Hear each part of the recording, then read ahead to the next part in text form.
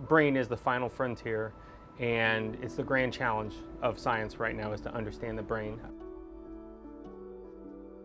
You know, we've made great strides over the last decade or two at understanding the brain, but uh, there's still a lot more work that needs to be done. And, and that's, what we're, that's what we're trying to do in our lab. Primary focus is on the discovery of novel agents for the brain. Uh, specifically, we have ongoing projects for Alzheimer's disease drug, drug development, and uh, we've been doing those for the past five or 10 years, and now we're starting projects that are more focused on psychoactive agents and understanding their potential use for depression, post-traumatic stress, and things like that.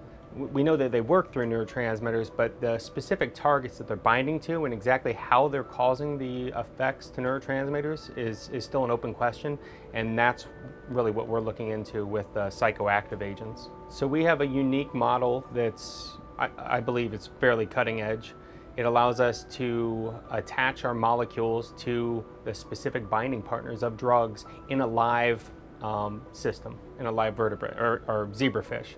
Previously, people had been able to do this like in cell culture. So you don't have, there's no behavior associated with, you know, cells don't have behaviors, right?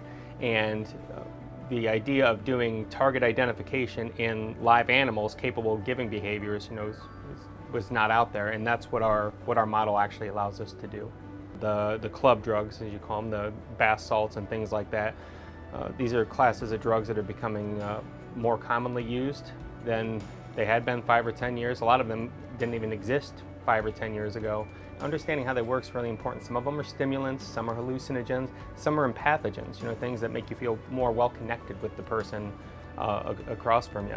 And really understanding how they work will help us to define better therapies for, you know, a range of, of behavioral brain disorders. With regard to therapeutics for the brain, I think the future is bright based on all the tools and, and the great investment that's been placed in, in looking at brain disorders.